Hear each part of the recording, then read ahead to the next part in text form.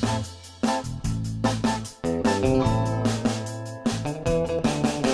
Mr. India is back. Not that bodybuilding muscular Mr. India thing, but our very original, the all-time Bollywood classic, Mr. Invisible Mr. India is back. Welcome to Bollywood 360. I am your host Mayank and today I have a good news for you guys. In case if you are a fan of the 1987 Anil Kapoor starrer Mr. India, then I have to tell you that we are having a sequel of Mr. India now. Yes, Mr. India 2 is finally here. Back after almost a 15 year hiatus, but hey, he is back. Producer Boney Kapoor has finally managed to rope in the original director of the film, Mr. Shekhar Kapoor, along with the lead pairs Anil Kapoor and Sridevi. It is said that Boney Kapoor always wanted Shekhar Kapoor to direct the movie, but since Shekhar Kapoor was busy with other commitment, he offered his help as a creative consultant. But things have apparently changed since then, and we are keeping our fingers crossed to see the very own Shekhar Kapoor direct the Mr. India 2 as well. Anyways, there is a bigger surprise. Salman Khan is reported to play the nemesis of the film. Well, I don't mind seeing Salman Khan play the next Mogambo. I personally feel that he can indeed play a very new and a very charming Mogambo of the I don't mind seeing the badass Chulbul Pandey be the next badass Mogambo. So bring it on, I am in for it. Mr. India 2 is all set to hit the screens in 2014 as Boney Kapoor as of now is busy converting the old Mr. India from 2D to 3D. But anyways, we just hope that the film starts shooting soon and we see a lot of these epic, epic, epic old sequels from the Bollywood cinema. I am Mayank signing up Bollywood 360. I'll see you soon.